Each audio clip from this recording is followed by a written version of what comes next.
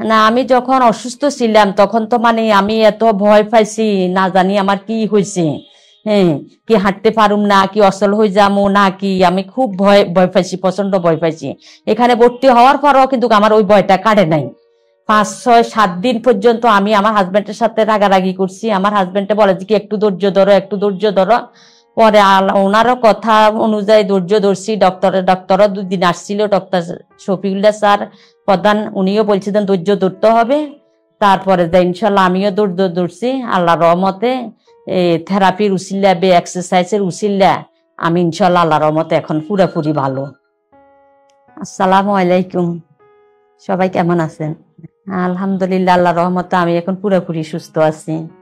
আমার নাম শিউলি, আমার বয়স সাতচল্লিশ। আমি পেশা গৃহিণী, আমার দেশ নোয়াখালী। আমি পাঁচ তারিখ রাত্রে ভর্তি হয়েছি। আমার কোমরের ব্যথা ছিল, হাতে দুই হাতে ব্যথা ছিল, এরপরে মেরুদণ্ডেতে ব্যথা ছিল, দুই পা একদম অবশ্যই যাইতো ব্যথা। এখন আমি আজকে সাত দিন ব্যথা আমার নাই, আমি ইনশাল্লাহ আল্লাহ রহমতে ভালো আছি। না, আমার যখন ব্যথা ছিল, আমার মেরুদণ্ডে প্রচণ্ড ব্যথা ছিল আর দুই পায়ে প্রচণ্ড ব্যথা ছিল। হ্যাঁ ব্যথার যন্ত্রণা, আমি সারা রাত ঘুমাতে পারতাম না।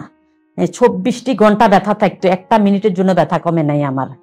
এরকম ব্যথা ছিল। কিন্তু আজকে পাঁচ, সাত দিন আমি ইনশাল্লাহ ওই ব্যথা আমার এখন নাই, আমি আল্লাহর রহমতে এখন পুরোপুরি সুস্থ। না না, এখানে তো মানে অমাইক সিস্টার, ডক্টর, সবাই খোঁজ খবর নেই। বিশেষ করে আমার থেরাপি যে দিছেন ও খুব ভালো একটা মেয়ে। ও থেরাপির উসিল্লা আল্লাহর রহমত, ওর থেরাপির উসিল্লা আমি ইনশাল্লাহ দ্রুত তাড়াতাড়ি সুস্থ হইতে পারছি আমি মনে করি। শফিউল্লাহ স্যারের কাছে এক মাস আগে আসছি, উনি আমাকে দেখি পরীক্ষা নিরীক্ষা করি, ওষুধ দিলেও বলল যে ভর্তি হইতো। আমি ভর্তি হই নাই। আমি বিশ দিন পরে আমার ওষুধে উপকার পাইতেছি না দেখি আমি বিশ দিন পরে আবার স্যারের সাথে দেখা করছি, স্যারে বলছে যে আপনি ভর্তি হন, কয়টা থেরাপি দেন? তো ওই হিসাবে আমি শফিউল্লাহ স্যারের কথা অনুযায়ী ভর্তি হয়েছি।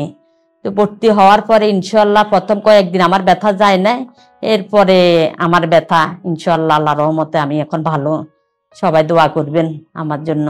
না, আমি যখন অসুস্থ ছিলাম, তখন তো মানে আমি এত ভয় পাইছি, না জানি আমার কি হয়েছে।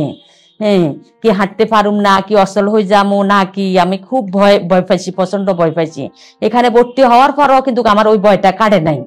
পাঁচ, ছয়, সাত দিন পর্যন্ত আমি আমার হাজবেন্ডের সাথে রাগারাগি করছি। আমার হাজবেন্ডে বলে যে, কি একটু ধৈর্য ধরো, একটু ধৈর্য ধরো। পরে ওনারও কথা অনুযায়ী ধৈর্য ধরছি। ডক্টরের ডক্টরও দুদিন আসছিল ডক্টর শফিউল্লাহ স্যার প্রধান, উনিও বলছিলেন, ধৈর্য ধরতে হবে। তারপরে ইনশাল্লাহ আমিও ধৈর্য ধরছি আল্লাহ রহমতে থেরাপির উসিল্লা বে এক্সারসাইজের উসিল্লা আমি ইনশাল্লাহ আল্লাহ রহমতে এখন পুরোপুরি ভালো। সবাই শফিউল্লাহ প্রধান স্যারের জন্য দোয়া করবেন যেন ওনার কাছে মানুষ আসতে পারে, ওনার চিকিৎসা সবাই যেন সুস্থ হয়ে বাড়ি ফিরতে পারে। আমার জন্য দোয়া করবেন, আমি যেন সারা জীবন সুস্থ থাকতে পারি। এই কামনা রইল। সবাই ভালো থাকবেন, সুস্থ থাকবেন। আসসালামু আলাইকুম।